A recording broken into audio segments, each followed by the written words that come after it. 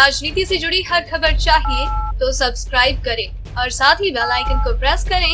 Latest news सबसे पहले पाने के लिए।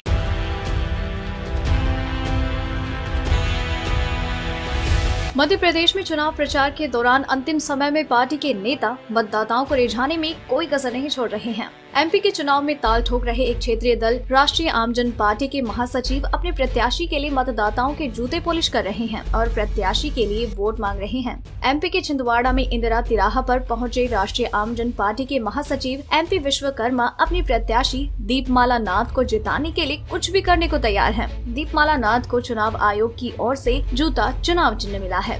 एमपी विश्वकर्मा अपने कैंडिडेट को मिले इस चुनाव चिन्ह को खूब भुना रहे हैं। एमपी विश्वकर्मा मतदाताओं का जूता पॉलिश कर रहे हैं और उनसे वोट मांग रहे हैं। आमजन पार्टी के प्रत्याशी दीपमाला नाथ का कहना है कि लोग परिवर्तन चाहते हैं। उन्होंने कहा, मैं दीपमाला नाथ हूँ और कमल नाथ बाहर के नाथ हैं। आपने उन्हें मौका दिया। एक बार मुझे मौका दीजिए। अगर आपको हमारी ये स्टोरी पसंद आई तो इसे लाइक करें और अपने व्यूज़ हमें कमेंट करके ज़रूर बताएँ।